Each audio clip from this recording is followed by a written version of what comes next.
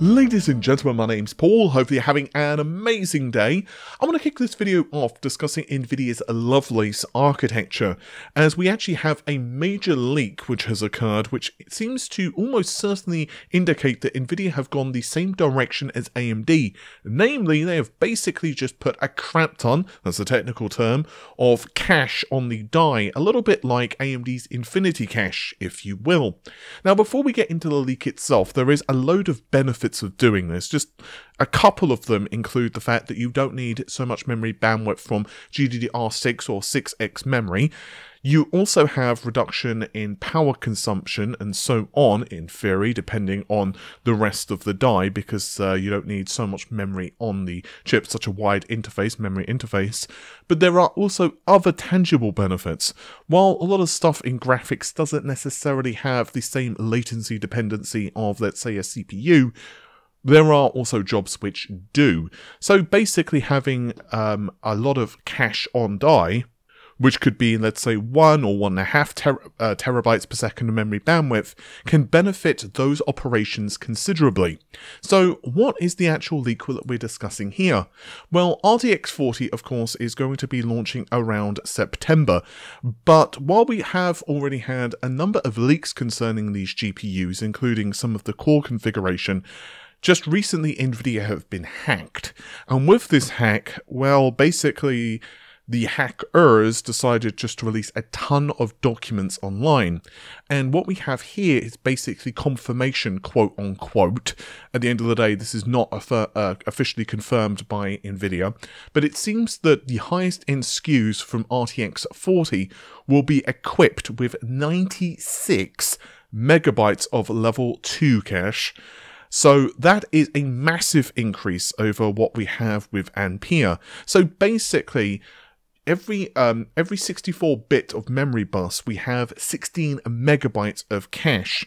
So again that is absolutely tremendous. Now if we go down the stack according to what's been leaked AD103 and 104 would receive 64 megabytes of cache and then AD106 and 7 they would be equipped with 48 and then 32 megabytes, the smaller quantity, of course, being for 107.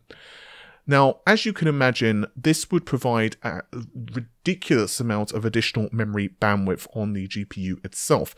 And Xino Assassin, I think that's how you pronounce it, was the first individual who actually leaked this, again, by digging through the technical documents that were, uh, let's use the word procured from NVIDIA.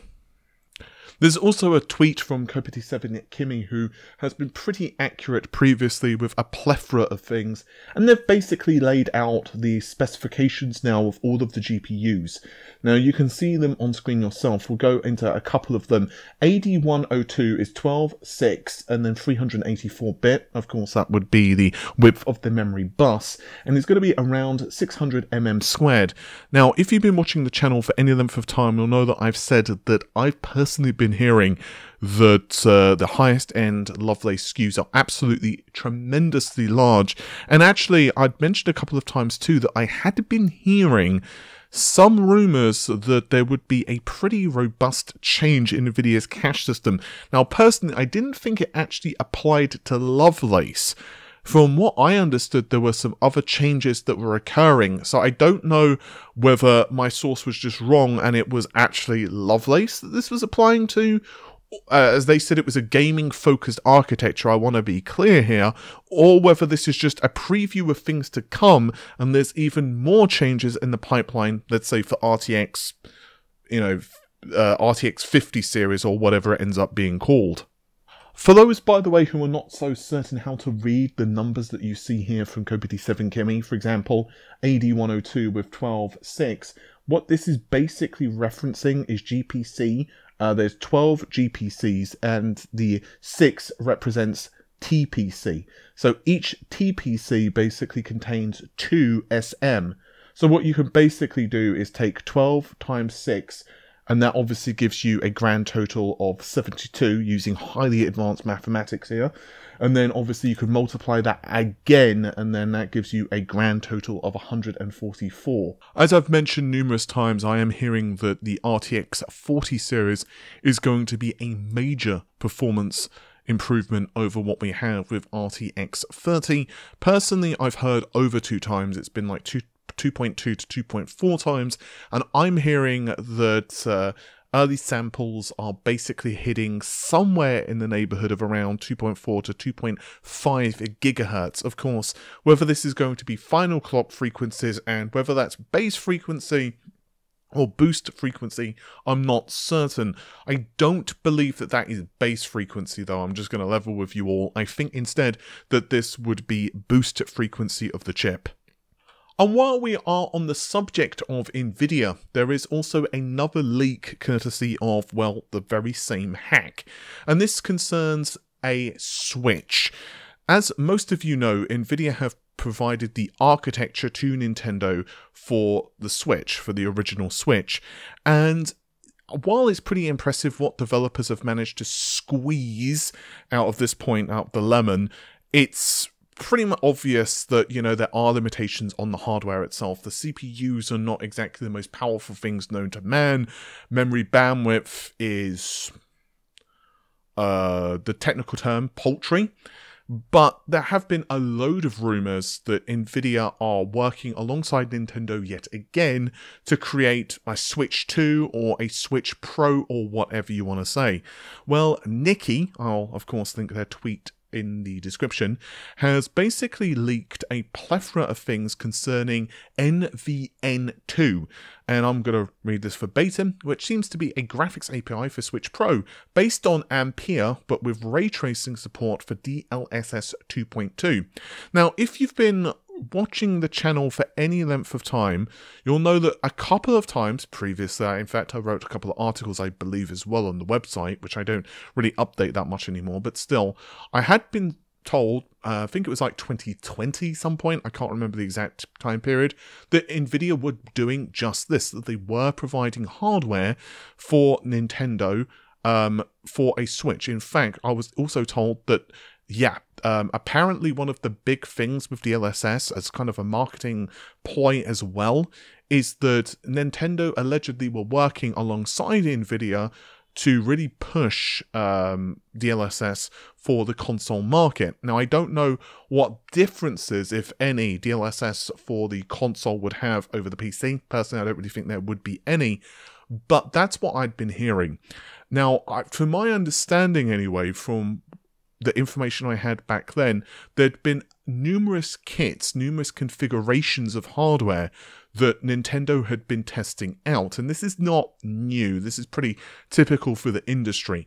Even if you've decided, let's say for sake of discussion, to go with Nintendo, uh, with Nvidia, like, and even a specific variant of graphics IP, what do you want? Do you want to go with higher clock frequencies on the CPU, GPU, what about, you know, a ton of other things on the system itself. You know, you have so many different things that you need to concern yourself, worry about, for example, battery life, uh, the cost of production, the actual ability to procure the materials, and so on, and so on, and so on.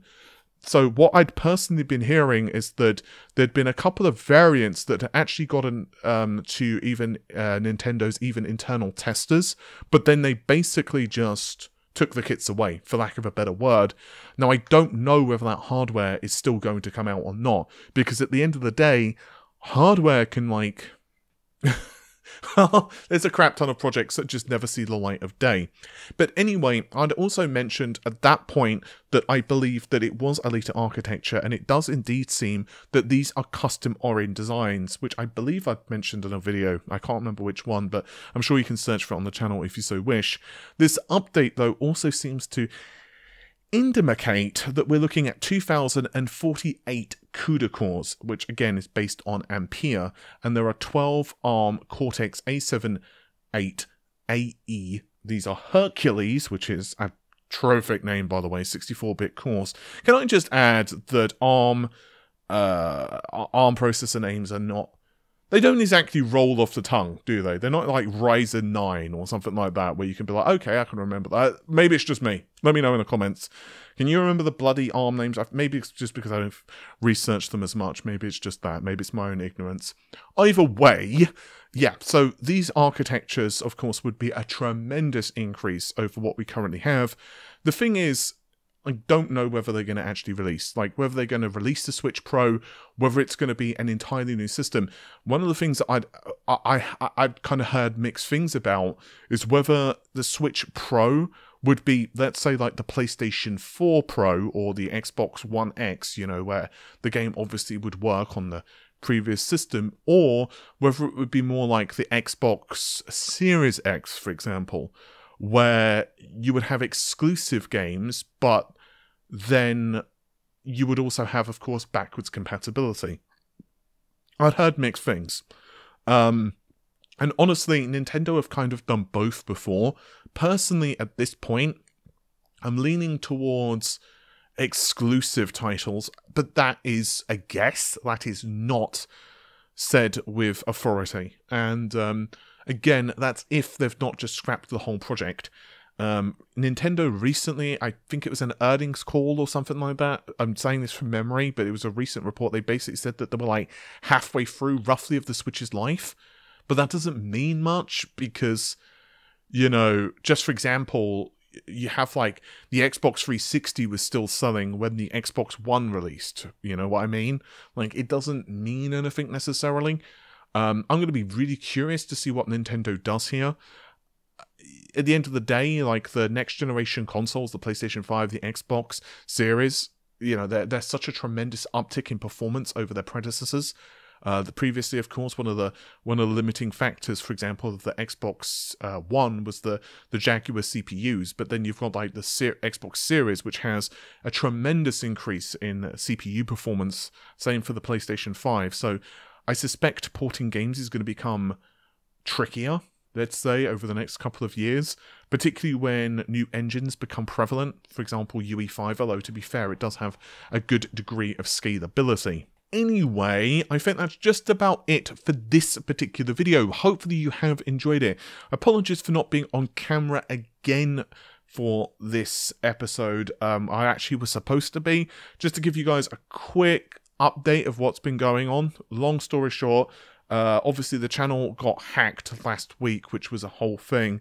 And then I've been kind of dealing with a leak in my flat. I actually thought it was fixed uh, not so much, let's just say that. And then I was away for a little bit over the weekend. Now I'm back, but the leak is like, yeah, let's say worse.